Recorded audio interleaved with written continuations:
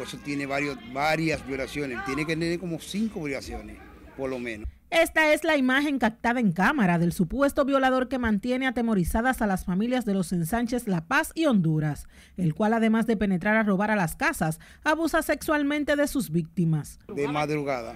Y parece que tiene alguna información de alguien, porque él da muchas informaciones que no debe saberla. Pero él a mujeres solas, que viven solas. Sí, porque que él ya tiene todo cuadrado cuando entra, ya sabe todo. Ay, Dios. ¿De qué manera no se sabe?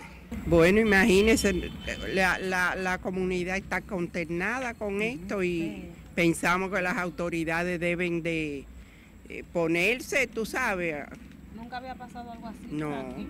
no. El agresor, de quien se dice es un nacional haitiano, ubica mujeres solteras y que vivan en segundo y tercer nivel. Algunas vecinas del sector Honduras aseguran que después de este suceso jamás han podido conciliar el sueño. Nosotros estamos, mira, yo, esa noche no dormí del miedo, eh, ¿cómo te digo?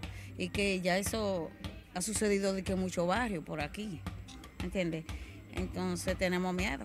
Que cumplan, que cumplan con su trabajo, porque estamos hartos de que, que pasen cosas así, tú sabes. Pero ¿y ese hombre de dónde salió? ¿Y quién sabe, mija, quién es ese caballero? Nadie sabe quién es.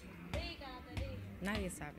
Las víctimas, una señora de 40 años y otra de 26, esta última de nacionalidad venezolana, aunque no quisieron salir en cámaras, detallaron al equipo de RNN que el sospechoso anda desnudo con una gorra y un cuchillo.